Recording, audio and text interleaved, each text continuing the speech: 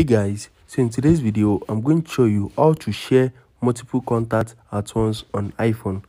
So if you want to share some contacts to another place or you just want to share your contact to someone on iphone and you don't want to be doing that one after the other let me show you how to share them once. All you need to do is open your phone application or just open your contact application.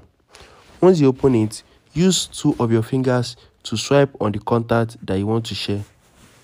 So just swipe down to the one that you want to share. And once you select everything you can now long click on it and you're going to see the share option. So just click on share.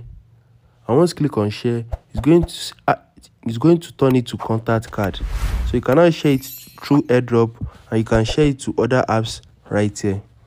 So if you want to share it to other apps you can also save it to your files and send it through files. So you can click on save to files and you need to click on save right here. So it is very easy to do. So i'm just going to cancel this. So let me save it.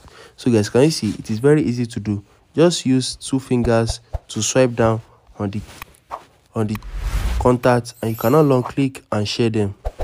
If you have any question about this drop them in the comment down below. And don't forget to like share and subscribe to my channel. Thanks for watching guys